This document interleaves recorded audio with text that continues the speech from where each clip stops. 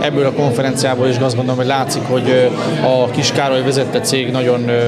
magas minőségű munkát tudott maga mögött. Az az eljárás, amit ők végeznek, akár a mérés, akár pedig a, a úgymond gondozás területén, az, az, egyedülálló. Én nem régóta ismerem a, magát a céget, és az olimpia előtt találkoztam Kisúrral, és hát meggyőzött arról engem, hogy az olimpia után ez a konferencia sorozatnak el kell, hogy induljon, hogy a Magyar Olimpiai Bizottságnak van lehetőség arra, hogy a látványcsoport sportágok támogatásából valamennyi pénzt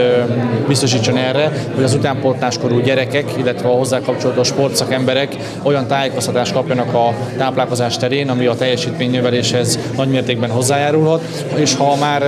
élsportról beszélünk, akkor mindenképpen a teljesítményről kell beszélni, de a Magyar Olimpiai Bizottságnak fontos feladata az is, hogy az egészséges életmódra terelje a fiatal nemzedéket, és a, mind a szabadidősport, mind a diáksport területén ez azt gondolom, hogy nagyon-nagyon fontos lépés. Én az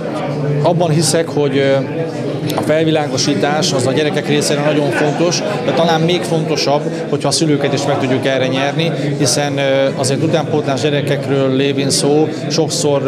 ha csak rájuk bíznánk ezt a döntést, akkor sajnos azt mondom, az iskolai büféket választják meg a meggyorsi termeket a helyes táplálkozás helyett. Ha a szülő egy kicsit jobban odafigyel, és nem elsősorban anyagi kérdést csinálunk belőle, hanem azt a hármas kérdést, hogy mit, mikor és hogyan táplálkozunk, ezt szigorúan betartjuk tartva és a, a, alárendelve az életmódunkat ennek a hármas egységnek azt gondolom, hogy nagyon-nagyon pozitív változások érhetőek el, akár a teljesítménynövelés, akár az egészséges életmód terén.